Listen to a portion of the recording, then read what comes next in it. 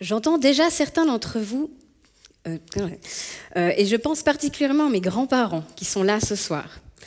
Sexting, sex texting, soit le fait de s'échanger électroniquement du contenu personnel à caractère sexuel. On a commencé à entendre parler du sexting et des jeunes à la suite de cas dramatiques. Des jeunes filles harcelées quotidiennement par leurs camarades d'école sur la base d'une photo intime qu'elles avaient envoyée à leur petit ami. Ce dernier ayant décidé de la partager à d'autres personnes, entraînant une diffusion massive et des réactions très violentes.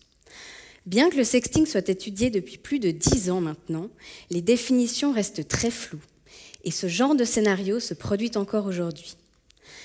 J'ai alors mis mes compétences de criminologue au profit de la santé publique et de la prévention pour mieux comprendre cette pratique.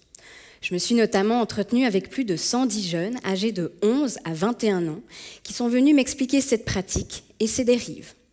On a surtout parlé d'échanges de photos, mais également de vidéos, de textes et même de messages vocaux. On a parlé de nudité, certes, mais également beaucoup de suggérés.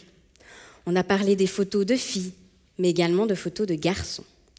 Pour la plupart des jeunes, cette pratique pouvait être positive lorsqu'elle restait dans un cadre privé et respectueux, et pouvait donc pleinement faire partie de leur sexualité. Mais alors, comment expliquer ce genre de scénario? Pour les jeunes, on partage à d'autres personnes par vengeance en cas de rupture, ou pour frimer face aux copains. Mais la plupart du temps, bah, c'est juste pour rire, quoi. Euh, c'est juste pour rire. Avec ma thèse, j'offre une compréhension très détaillée de cette pratique. Et j'ai également mené un état des lieux sur la prévention nationale et internationale. Et j'ai pu voir qu'elle était peu claire, parfois stigmatisante, et prônait avant tout une abstinence totale de la pratique. N'envoie pas de photos de toi. Ne fais pas confiance à cette personne.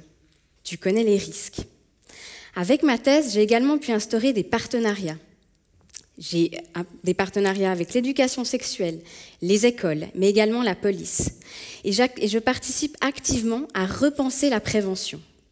Au lieu de s'adresser aux victimes potentielles, ciblons avant tout les auteurs de ces partages, les témoins qui voient mais ne disent rien, et ceux qui participent activement aux moqueries et au harcèlement, et continuent cet effet boule de neige du partage.